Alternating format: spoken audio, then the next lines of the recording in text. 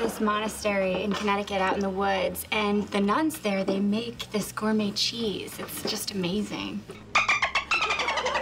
Wow, was that three glasses of wine? Where does the time go? Look, I know that you need to get back to your studies. Maybe we could get together some other time? No, not possible. It was the performance of a lifetime. Man, if I'd have hung around a few more minutes, I probably could have gotten her to touch my blowhole. Give me that.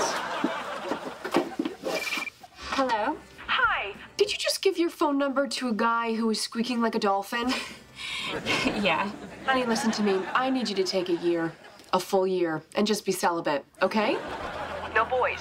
One year. I Think you know I'm right about this? You're right. Yeah. That was heartbreaking. And pants breaking. Boing!